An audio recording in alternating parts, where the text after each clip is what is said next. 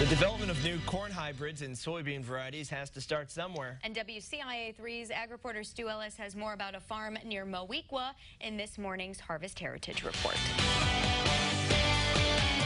Daryl Hall is like any farmer, fascinated with new technology, and says it's in his blood.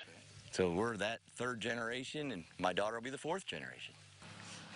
The biggest thing I learned from my dad is to be really particular and do the best job you could and always be open to new innovative things. Well, an example that I still use today is doing or having people doing research on the farm.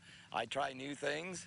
I am one, I won't go out and try something really far-fetched, but if there's something that I read about or hear about that I think might work, I'm willing to try it. And that is what sets Daryl apart from other farmers, says Craig Grafton, production supervisor for Bayer at Stonington. And that's what we like to see with some of our research too is, you know, guys that are pushing the envelope on some things and they're they're they're they're up to speed with with what's going on in the ag world.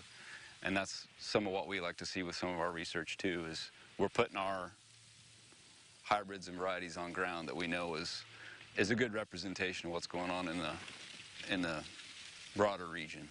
We've probably been doing this approximately 20 years, and we've had a great relationship.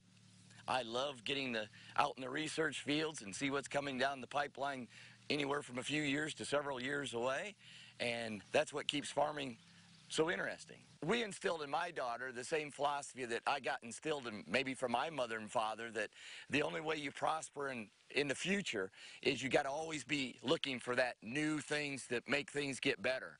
And my daughter has grasped that greatly and is even carrying it farther than I was able to because she's more intelligent than I was. That's our Harvest Heritage Report. I'm Stu Ellis with WCIA 3, your local news leader.